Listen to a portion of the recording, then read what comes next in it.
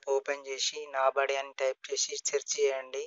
Blue కలర్లో నాబడి profile వస్తుంది. ప్రొఫైల్పై ట్యాప్ చేయండి. సబ్స్క్రైబ్ బటన్పై ట్యాప్ చేయండి. రెడ్ కలర్లో వస్తుంది.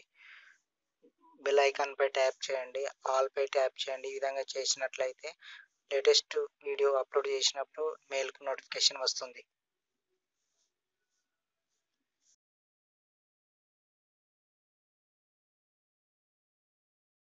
మర్యాద రామన్న కథలు. సూరయ్య పేరయ్య? రామాపురంలోని సూరయ్య పేరయ్య అనే స్నేహితులు ఉండేవారు. ఇద్దరు ఒకటే తరగతి ఒకటే పాఠశాలలో చదవడం చేత స్నేహముగా ఉండేవారు. చదువులు అయిపోయిన తర్వాత ఇద్దరు చెరొక వ్యాపారం చేయడం మొదలు పెట్టారు. సూరయ్య ఇనుము వ్యాపారం చేసేవాడు.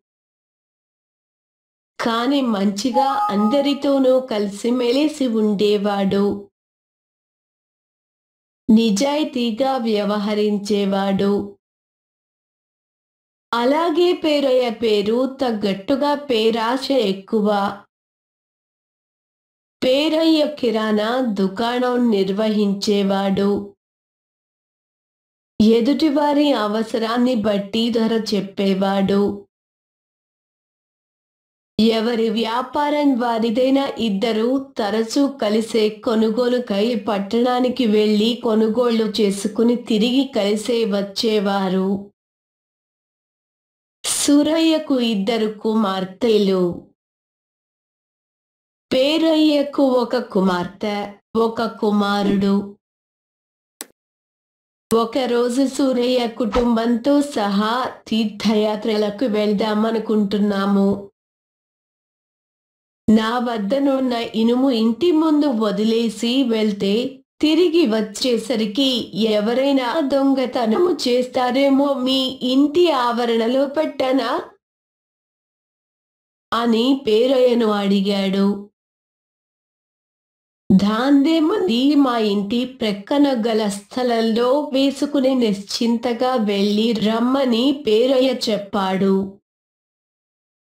సూరయ్య ఒక మంచి రోజు చూసుకుని తీర్థయాత్రలకు బయలుదేరాడు.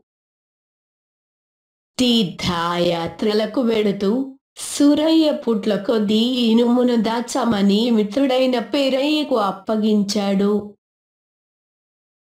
సూరయ్య వెళ్ళాక ఇనుము ధర బాగా పెరగడంతో అదంతా అమ్మేసి సొమ్ము చేసుకున్నాడు పేరయ్య.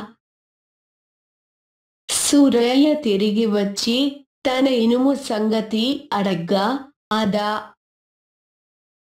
ఇంకెక్కడుంది? ఎలుకలు అంతా ఎప్పుడో తినేశాయి కదా నేనేం చేసేది అంటూ దీర్ఘాలు తీశాడు పేరయ్య. సూరయ్య మర్యాద రామన్న దగ్గరకెళ్ళి చెప్పాడు. మర్యాద రామన్నకి సూరయ్య చెప్పుతున్న దాంట్లో అబద్ధం లేదు అనిపించడంతో పేరయ్య సంగతి ఆరా తీయించాడు. పేరయ్య ఇంటికి వెళ్ళి పాత స్నేహం ప్రకారం అతని కొడుకుని విందుకు పిలవమన్నాడు రామన్న. విందుకు వచ్చిన పేరయ్య కొడుకును ఒక గదిలో బంధించేలా చేశాడు. ఎంతకు కొడుకు రాకపోవడంతో విందు పేరుతో తన కొడుకును సూరయ్యే ఏదో చేసి ఉంటాడని నేరుగా ఏమీ అనకుండా రామన్నకు ఫిర్యాదు చేశాడు. ఇలా జరుగుతుందని రామన్న ఊహించినదే అయింది. సరిగ్గా సూరయ్య అప్పుడే అక్కడకు వచ్చాడు. కొడుకు గురించి రామన్న ఎదుటనే పేరయ్య అడుగ్గా అతడి కొడుకుని గద్దలు ఎత్తుకుపోయాయి నేనేం చేసేది? అని తొణక్కుండా జవాబు చెప్పాడు సూరయ్య.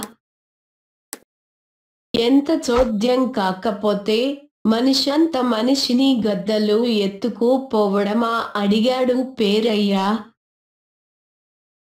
పుట్ల కొద్దీ ఇనుము మింగేసిన ఎలుకలే ఉన్నప్పుడు మనుషుల్ని ఎత్తుకుపోయే గద్దలు ఉండడంలో వింతేముంది అన్నాడు సూరయ్య.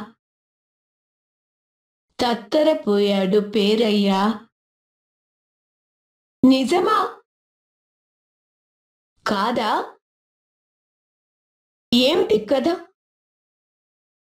అని గద్దించాడు మర్యాద రామన్న. తలుపాడు పేరయ్య. సూరయ్య రామన్నకు దండాలు చెప్పుకుంటూ అందరితోనూ ధర్మ ప్రభువు మర్యాద రామన్న అని బతికినంత కాలం చెప్పుకుంటూ ఉండేవాడు.